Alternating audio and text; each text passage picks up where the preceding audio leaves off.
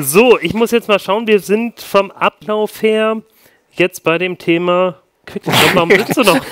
Warum oh, habe ich meinen Einsatz verpasst? Du hast deinen Einsatz verpasst. Wir Sekunde. schauen uns in der Zeit das nächste Quicktip-Video von Matthias an.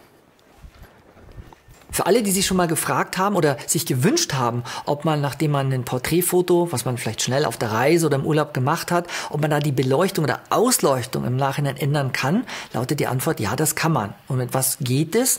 Mit dem sogenannten Renderfilter Beleuchtungseffekte.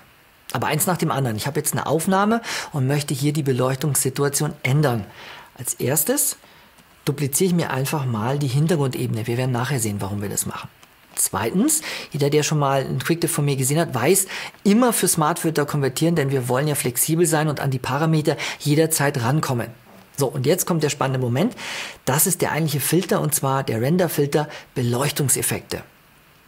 Und in diesem Dialog kann man sich wirklich austoben. Hier auf der rechten Seite haben wir wie immer jede Menge Schieberegler für Beleuchtungskörper, also Lampen, Spotlights, Punktlichter, die man hier einfügen kann.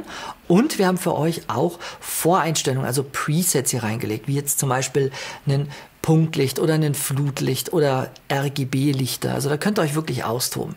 Für dieses Porträt würde ich jetzt sowas wie 45 Grad von unten nehmen. Wir können die Intensität auch hier ein bisschen runterdrehen. Und wenn ihr mal eine Einstellung gefunden habt, die euch gefällt, dann ist die nicht verloren, denn ihr könnt die auch abspeichern.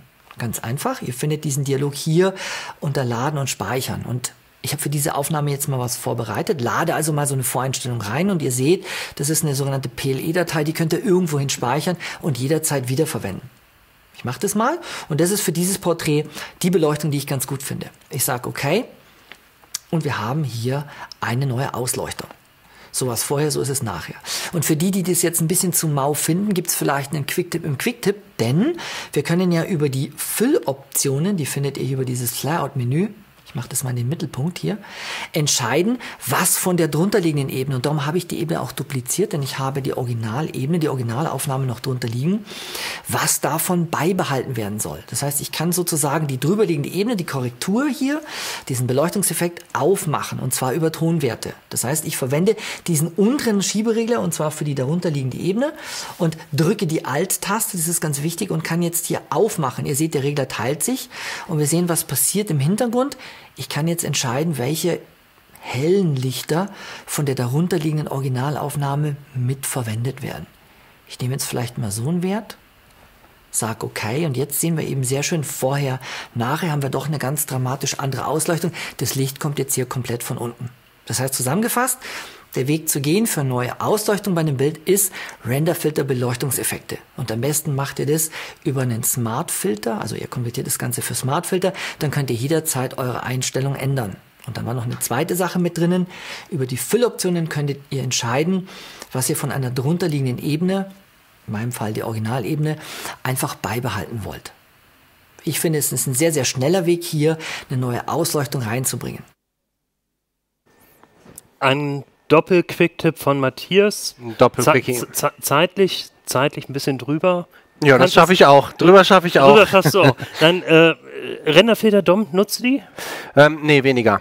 Aber rendern ist doch ein schönes Stichwort, um äh, zu meinem Quick-Tipp überzugehen.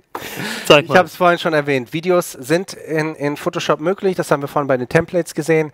Ähm, dass man auch sehr, sehr coole Effekte damit erzielen kann. Das will ich jetzt mal zeigen und dass es gar nicht so lange dauert. Ja, Ich habe hier so ein Bild und was ich mit diesem Bild gemacht habe, ich habe hier mal ein paar Beispiele mitgebracht. Ich habe so eine Art Cinematograph gemacht. Ja, Ich habe so Linien, die sich hier an diesem Badeanzug runter, äh, runter ähm, laufen, vielleicht auch mit so einem transparenten Hintergrund.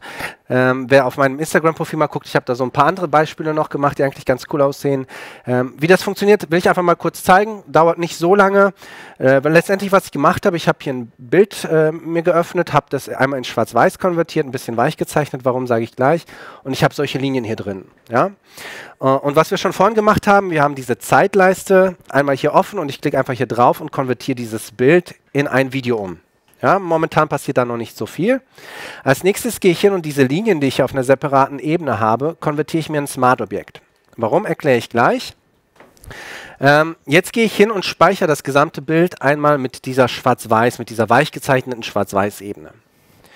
Dann gehe ich hin und doppelklicke mal auf diese Linien. Ja, das ist das Smart Object, was ich mir gerade erstellt habe.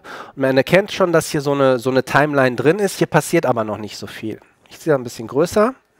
Und was ich jetzt machen möchte, ich möchte sagen, dass sich diese Position dieser Linien verändert. Und dafür klicke ich in der Zeitleiste auf diesen Pfeil hier und dann kommen, erscheinen so Optionen hier drin. Also sage ich hier mal ähm, eine Sekunde in etwa. Und dann möchte ich die Position animieren und zwar soll, sollen diese Streifen hier hin, genau an die Kante. Jetzt habe ich vergessen, hier vorne ähm, Keyframe zu setzen. Also gehe ich nochmal hier zurück. Und was jetzt passiert, wenn ich dieses Video hier abspiele, diese Streifen laufen darunter. Ja, das Ganze speichere ich ab. So, und wenn ich das hier jetzt abspiele, laufen diese Streifen, wie wir es gerade eben angezeigt haben, runter. Was ich jetzt im nächsten Schritt mache, ich ähm, transformiere das mit Steuerung T, gucke, dass ich das auf diesen Badeanzug anpasse. Hier gibt es diese Warp Transformation, klicke ich einmal drauf und gucke, dass das sich so einigermaßen in der Struktur des Badeanzugs anpasst. Ja, das muss jetzt nicht sehr präzise sein. In etwa so. Und was ich hier schon gemacht habe, ich habe in den Kanälen mir schon mal diesen Body einmal ausgewählt. Ja, das heißt, ich klicke jetzt hier drauf und gucke, dass diese Linien ähm, einmal hier ausgewählt werden. Und wenn ich das jetzt abspielen lasse, dann laufen diese Linien hier runter. Ja, das kann ich hier noch einmal auf weiches Licht setzen ähm, und so einen coolen Effekt erzielen.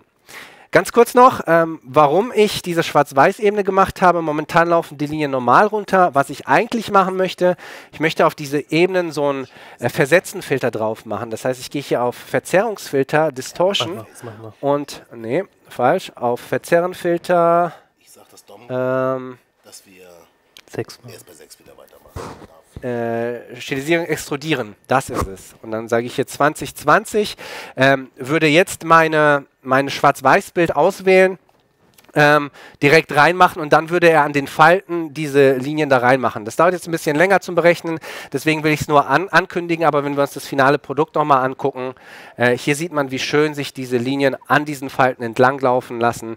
Das Ganze kann ich dann als GIF abspeichern oder wie gesagt hierüber einfach als Video rendern und fertig ist mein Cinemagraph. So, mein kurzer, gar nicht so kurzer Quick-Tipp, aber ich denke sicherlich eine interessante Funktion in Photoshop.